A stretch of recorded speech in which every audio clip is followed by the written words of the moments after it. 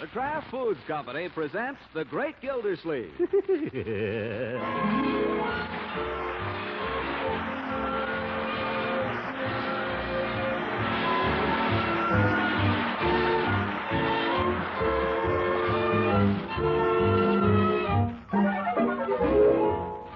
It's The Great Gildersleeve, starring Harold Peary, brought to you by the Kraft Foods Company, makers of a complete line of famous quality food products. Now let's get on to Summerfield and the Gildersleeve house. It's a balmy spring evening, and it seems to be whispering something to Gildersleeve.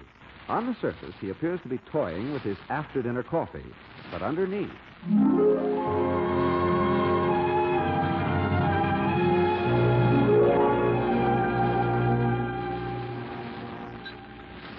By George, I think I might circulate a little this evening. Yes, sir. Time to get back into action. Wonder who I should call up. What'd you say? Huh? Uh, just talking to myself, Marjorie. I'm thinking of going out this evening. Why don't you call up Mrs. Ransom? Well, there's always Mrs. Ransom. You haven't seen her in quite a while. Week or ten days. I feel like calling someone else, though. Let's see. Eve Goodwin, maybe. Haven't seen her in months. I might just give her a jingle. Friday night she has teachers' meeting. Oh. Well, who else do I know? Mrs. Ransom. Besides her. I give up. Who do you know? Nobody, I guess. Well, I'll give Leila a break. What the heck? You better call her. Call Leila? No, Leila's always available. That's one good thing about Leila. She's always handy and she's always home. I'll just back the car out and take her to the movies.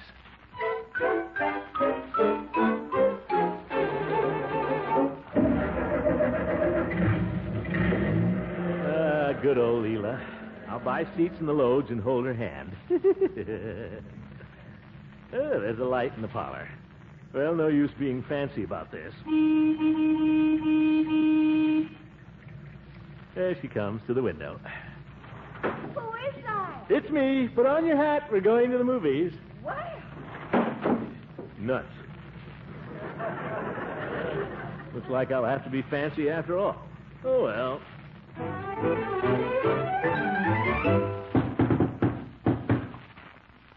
Hmm. Who does she think she's pushing around? Playing hard to get at her age.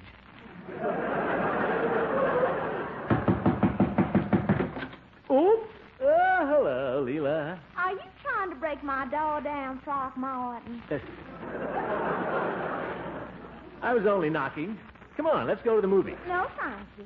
And for your further information, I am not particularly flattered by the style of your invitation, blowing your horn. Yeah, but Leila, I was just trying to save time. Come on, or we'll miss the newsreel. I'm not going with you, Throckmorton. Oh, don't tell me you got a date. I'm afraid you've been taking me a little too much for granted. Me? I don't know how you could get an idea like that. I've been busy, of course. So have I. Huh? I've been busy too, Throckmorton. Well, that's fine. Glad to hear it. Uh, but look, we don't have to be technical, Leila. We understand each other. And if you're not doing anything. I'm not, especially with you. Uh, Leila, let's talk this over. Mr. Gildersleeve, a gentleman does not stick his foot in a lady's door. But we're old friends. Just let me come in for a minute. Mm, Well, of course it won't mean anything. Gosh, just because I stay away a while and hurt your feelings, that's no My reason. feelings are not the question, Throckmorton. It happens I have a new interest. Sit down, won't you? Thanks. What do you mean, a new interest? His name is Mark Wade. He's a newspaper man. A newspaper man? You don't want to have anything to do with a newspaper man, Leila. He probably drinks. Oh, I'm sure not. He's always been a perfect gentleman. That way, I mean. What do you mean? Well, I mean, in some ways, he's simply outrageous. I've never in my whole life had a man treat me the way he treats me, Throckmorton. You know the first thing he told me? He said I had a funny nose. I don't think you have. Your nose is okay. As a matter of fact, I have a very cute nose. Oh, sure, sure. Your nose is swell. That's not the point. Somehow Mark just says things to me no one else could say, that's all. Sounds fresh to me. Oh, he is. Like the way I met him. I was taking a little news item down to the indicator office. I, I always talk to Miss Clement, the society editor, and she introduced me to Mr. Wade. We talked on a minute, and then he said, Mrs. Ransom, I'm going to a fire. How'd you like to come along? Can you imagine? A fire's no place to take a girl. Well, of course I declined. But the next night he phoned and asked me to dinner. He said he'd forgotten my nose and he wanted to check it.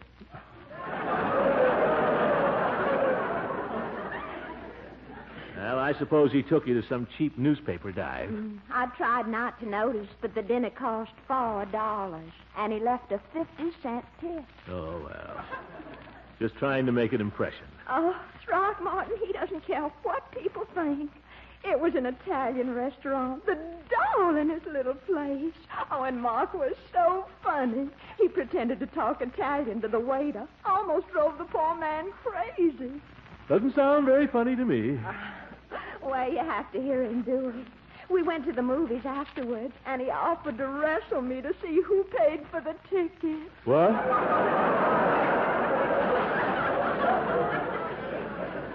He was only joking, of course. this guy is nothing but a show off, Leila. Well, naturally, I wouldn't expect you to appreciate him, Throckmorton. He has such imagination. Everything he does is so unexpected. He calls me Stinky. I never realized a Yankee could be charming before. I don't want to hear any more about this fellow, Leila. Can't we go to the movies? Oh, we had more fun last night. I didn't get home until four o'clock in the morning. Mark's car broke down. He's so cute. What's cute about having a bum car? I suppose you had to walk home. I should say not. He hired a milk wagon. What? A milk wagon was coming along, and Mark talked to the man into, into taking us home. Did you ever hear anything so crazy? Leila, if you ask me, you're the one that's crazy. Are you serious about this cheap comedian? He's not a cheap comedian. Down underneath, he's a very fine person. You can't be serious about a newspaper man. Well, I don't know whether I am or not. I decided we shouldn't see each other for a week as a test. Oh, my goodness. Mm. It's been three days now, but Mark doesn't play fair. He sends me some kind of a present every day to keep his memory green, he says. this morning he sent me a phonograph record. He's crazy about music, with the craziest note. Something about, I hope this tender lyric will convey the passion seething in my soul. But look at the record. Record? Mhm. This it? Yeah. Cement mixer.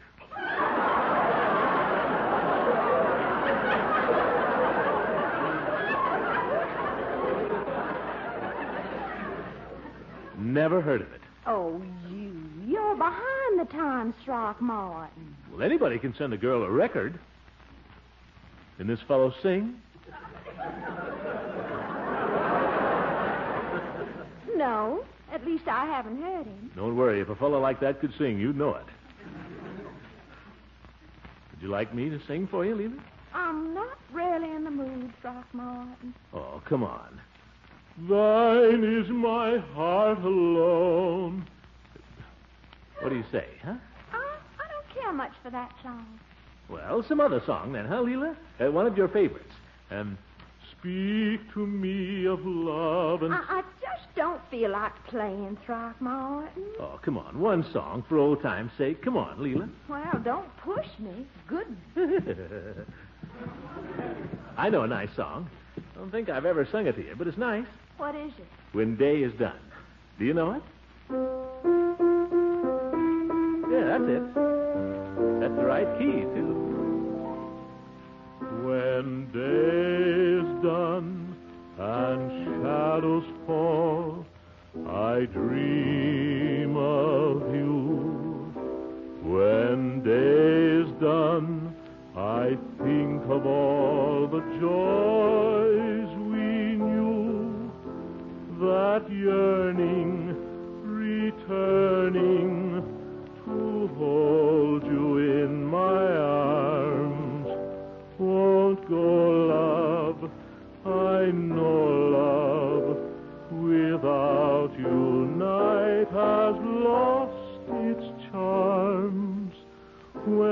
Day is done and grass is wet with twilight's dew.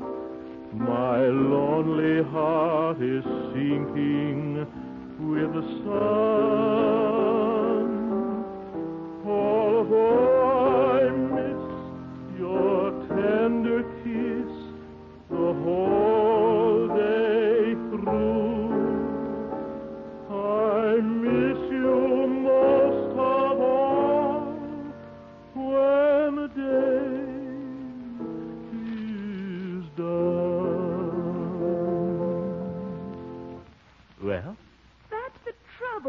Throckmorton. You're in a rut.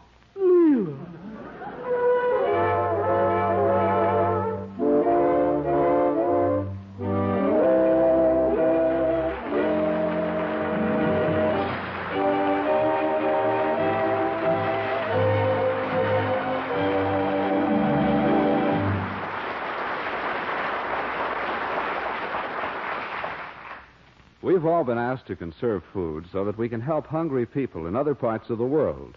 So homemakers hold on to the leftovers. One of the cleverest ways to serve leftover vegetables or meat or seafood is in a rich golden cheese sauce, made the easy way with Velveeta. This cheese food with the rich yet mild cheddar flavor always melts smooth, adds such goodness and fine food values. As a matter of fact, when you glamorize leftovers with Velveeta sauce, you're adding high quality, complete protein, precious milk minerals, food energy, riboflavin, and vitamin A. To make that rich tasting, nutritious cheese sauce, just melt one half pound of Velveeta in the top of your double boiler. Then gradually stir in one fourth cup of milk. Like magic, you have satin smooth cheese sauce, perfectly delicious on vegetables, eggs, fish, leftover ham, chicken, veal, or what have you. Tomorrow, look for Velveeta at your food store. The name on the package tells you that you're getting the smooth melting cheese food of Kraft quality.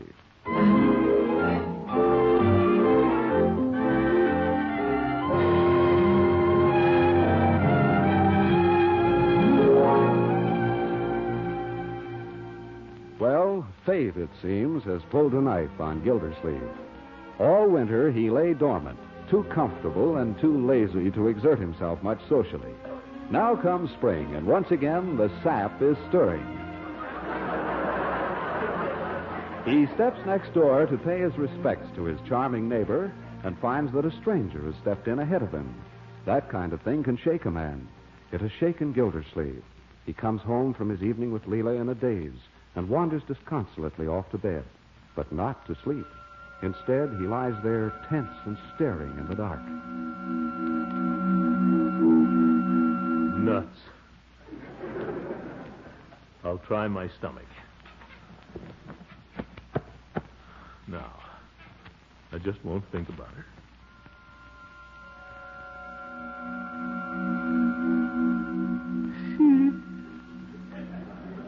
Leila, how could you do this to me? I know I haven't been around much lately, but gee whiz. I thought we had an understanding, sort of. I mean, gosh, after all, we've been to each other, almost.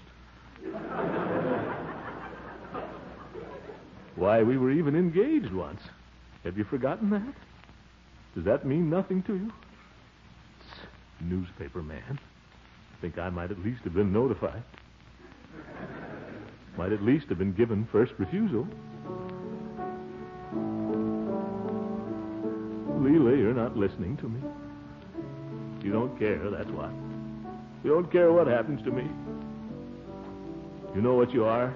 You're hard hearted. I don't like to say it, Leila, but you are. All you ever think about is yourself. Why don't you think about me for once? You want to know? I don't think you're such a wonderful piano player either. That's telling. Why didn't I say those things to her when I was over there? Why I didn't think of them then?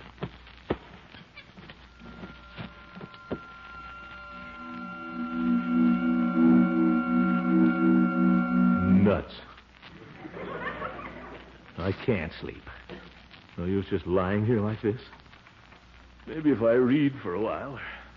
Might go down in the kitchen and look for a bite to eat. Might as well be eating as just lying awake.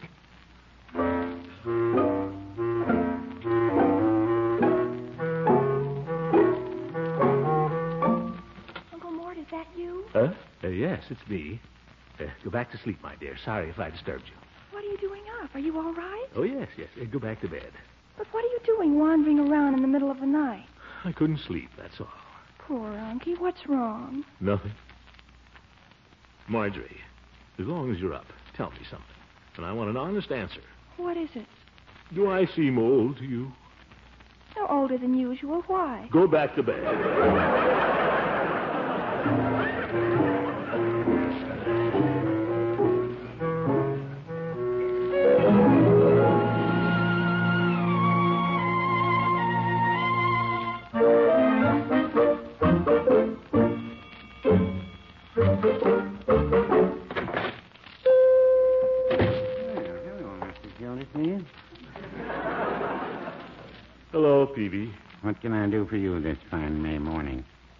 Day, isn't it? Yeah, I remarked to Mrs. Peavey as I was leaving this morning. I... Well, what's happened, Mr. Gildersleeve? You look a little under the weather. I know. I had a bad night last night. No sleep. Oh, too bad. Something keep you awake? I guess so.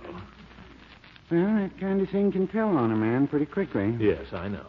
Under the eyes, particularly. Let's not dwell on it, shall we? Peavey, have you got any kind of a tonic or anything? Mr. Gildersleeve, you've come to the right place. That's why I came. Yes, I'm happy to say the tonics are coming through very nicely now. Not in great quantities, you understand, but enough to tone up our regular customers. Yeah. Well, that's good. During the war, you know, we weren't able to get a lot of them. I understand some of the materials were going into the atomic bomb. Oh. Well, I don't want anything like that. Just something to give me a little lift, Peavey. I don't want to go up like a rocket. Mr. Gildersleeve, I suspect you're joking. Yes, yes. Well, let me see. We have all the standard remedies here. Mooney's cyclophosphate, Dodd's vitapepsin, Dr. Fagan's nature compound, Bilbo's beef, iron, and wine, Plug's liver extract, Goodwin's household ammonia. Well, how did that get up there? Wrong shelf. Which one would you say was the best, Peavey? Uh, which is the best? Yes. Well, they're all excellent, Mr. Gildersleeve. It's a matter of taste. Y- Don't be silly. Nobody ever took a tonic for the taste, Peavey. Which is the best?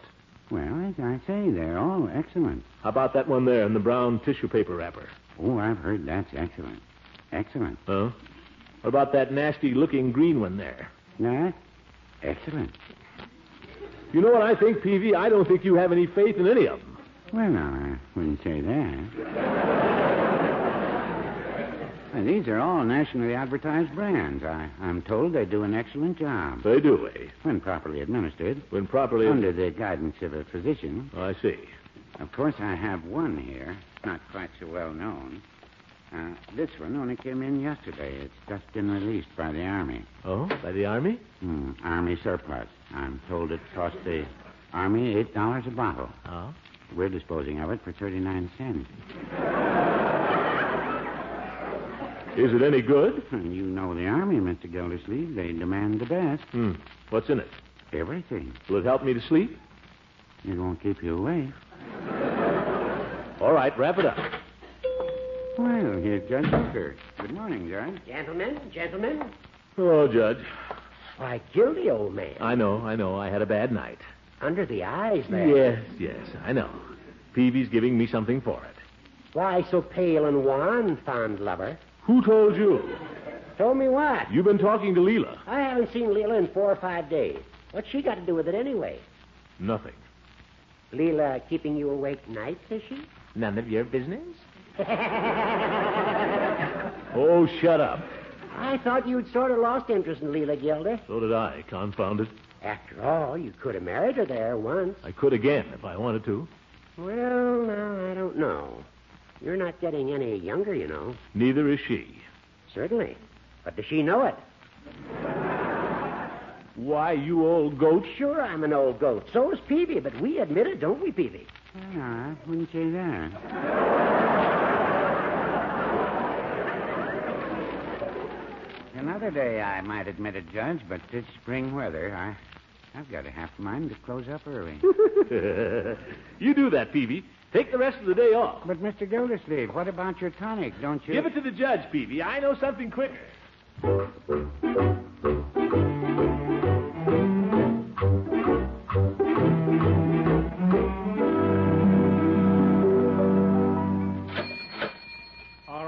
Right, you're next. Climb right up in the chair there. Sorry to keep you waiting. That's all right, Floyd. Oh, thanks, Doc. Thanks a lot. See you around. Regards to wife. Take care now. Cheapskate. Only guy in town that hasn't raised his tip since the war started. Well, how's it going, Commissioner? Been doing any. Commissioner, what happened? I had a bad night, Floyd. I'd rather not hear any more about it. Put them things under your eyes. Well, don't tell me about them. Do something about them. Okay, I'll try. I want you to give me the works, Floyd. I want you to make me look ten years younger. Well, that's quite an order, Commissioner. I ain't no miracle worker, you know. I ain't no Elizabeth Arden. All I claim to be is a darn good barber and a fair tenor. But I'll do what I can. Is that too tight for you? No, that's okay. I guess we better start with a massage, huh? Unless you want to go in for surgery. For what? Oh, only joking, Commish. My surgery's unintentional, you might say. What do you think about my mustache, Floyd? Do you think that's a little droopy? Oh, why? Somebody been making cracks? No, I just wondered if it couldn't be a little more uh, youthful. Well, we could heist it a little, maybe. You got a date or something, Commissioner? Or just worried about holding on to your job? Well, I have a sort of a date. Sort of a date. What kind of a date is that? Well, this party, I won't mention her name, but she's gone and got some notions all of a sudden about youth. Oh. Afraid I'm going to have to do some missionary work there. Mrs. Ransom running around with some younger fella, is she? Where did you get that idea? Well, what else? You come in here and want your mustache heisted. There must be something behind it. It ain't so long it's getting in the soup. What makes you think it's Mrs. Ransom? Well, ain't it? This fellow's got the darndest line, Floyd. He insults her. Tells her she's funny looking, and she loves it. Sure, it's them little attentions that gets 'em. I swear I think this guy is crazy. He took her for a ride in a milk wagon. Can you imagine that? I've seen a fellow do that in a movie once. Maybe he did, too. Only in the movies, they usually bring the horse home to breakfast. But, Floyd, what way is that to behave with a lady? It's not so dumb. Women don't want a man who's faithful. They just want a man to be cute. Well, maybe. How do you think I and the wife have stuck it out all these years? I just let things go along, and when I see they're gone as far as they can and she's about ready to crown me, I pull something. I get cute on her. You can't hit a guy when he's cute.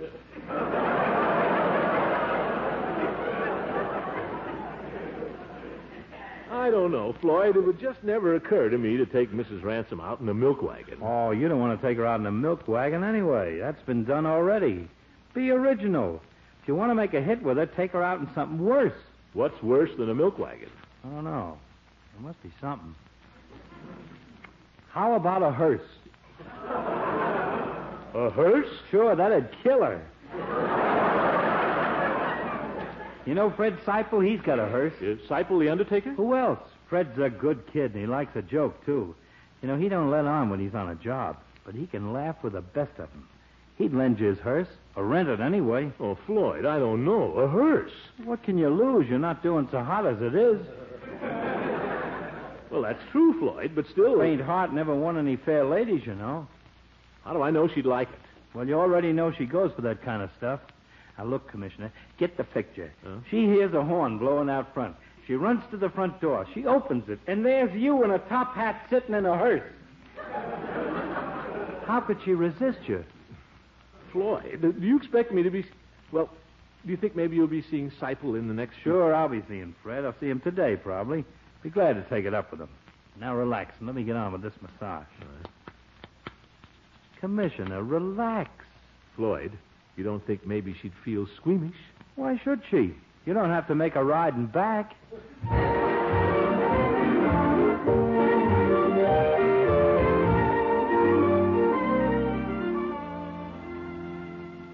Well, thanks a lot, Mr. Seipel. I'm certainly much obliged. It's a nice little job you got here. I'll be careful with it. Uh, you've driven Pierce Arrows before, have you? Oh, yes, yes. That is, uh, they drive just like any other car, don't they? Oh, I guess so. Just keep her under 35, that's all. I had new rings installed, and they're not worked in yet. Oh, I will. Yes, indeed. Uh, has a horn, has it? Right there. Fine horn. Now, I don't have much call for it, actually. Uh, Well, good luck, Mr. Gildersleeve. thanks again, Mr. Seipel. Hope I can do as much for you sometime. Uh, all clear there? All clear. Here we go.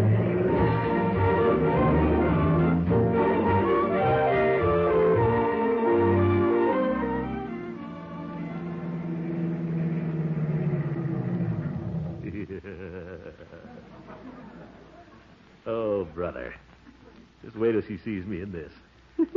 Will she think I'm crazy?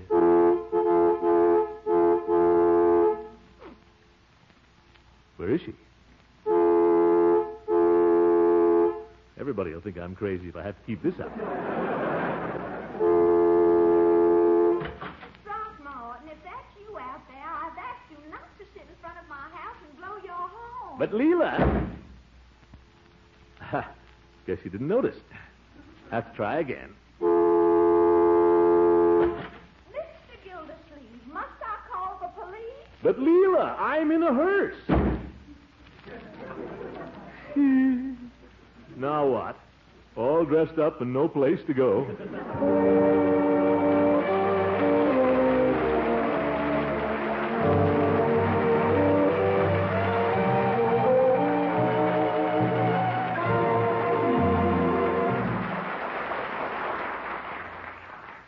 A smart lady I know has reduced all this nutrition business to its simplest terms.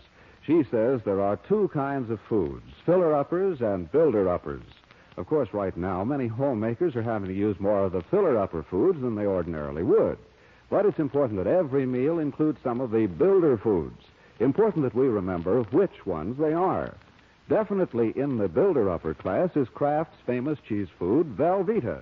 For Velveeta helps supply muscle building protein, milk minerals to help maintain strong bones and teeth, food energy for working power, vitamin A, and riboflavin.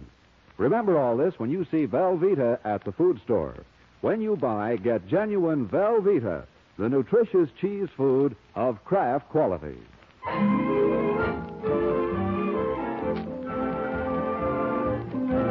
The Great Gildersleeve is played by Harold Peary.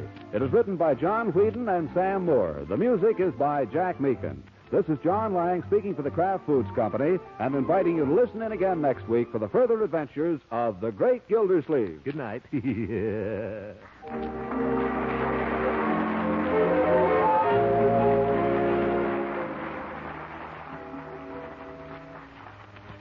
If your family has been passing up fresh green salads, try serving them this appetizing new way.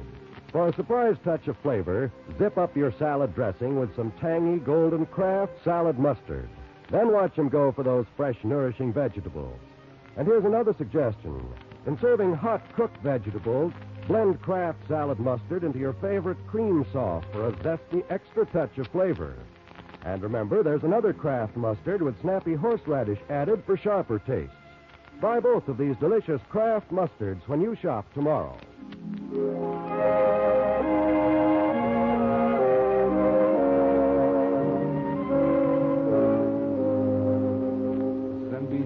National Broadcasting Company.